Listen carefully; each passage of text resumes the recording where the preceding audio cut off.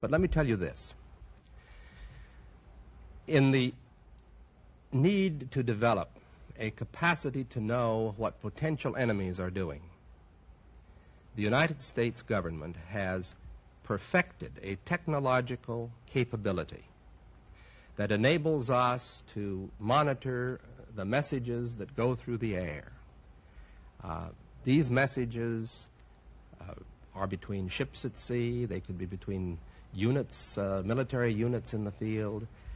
We have a very extensive capability of intercepting messages wherever they may be in the airwaves.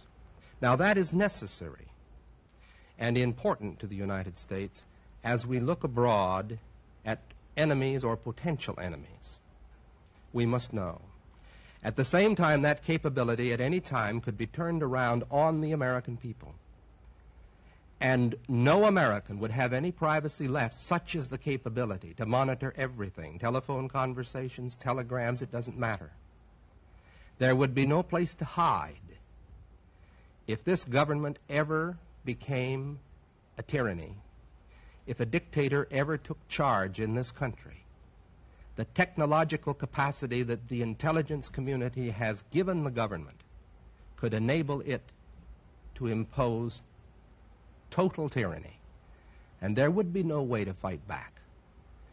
Because the most careful effort to combine together in resistance to the government, no matter how privately it was done, is within the reach of the government to know.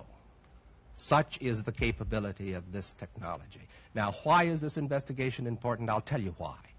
Because I don't want to see this country ever go across the bridge I know the capacity that is there to make tyranny total in America.